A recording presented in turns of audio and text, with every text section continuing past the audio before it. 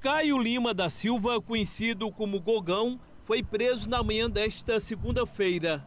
A ação policial foi realizada por investigadores da Delegacia de Combate a Roubos e Extorsões, a Decore. Hoje a Decore pela manhã deu cumprimento, né, o mandado judicial de prisão preventiva.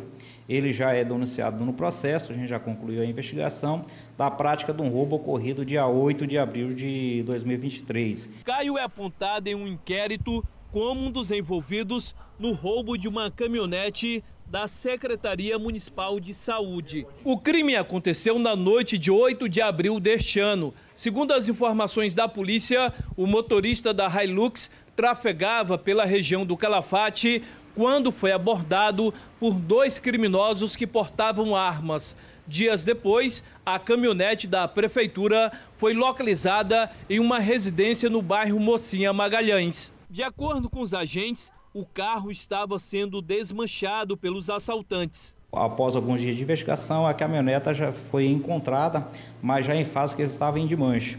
Foi dia 17 de abril, foi recuperado pelos investigadores da Decore. No decorrer da investigação, os policiais da Decore identificaram três suspeitos do crime. Caio Lima foi reconhecido pela vítima na sede da DEIC. Ele teve a prisão preventiva decretada no último dia 26 pelo juiz da Vara de Delitos de Roubo e Extorsão da comarca de Rio Branco. Em julho deste ano, a Justiça do Acre aceitou a denúncia do Ministério Público Estadual contra Caio. Com a decisão, ele passou a ser réu no processo.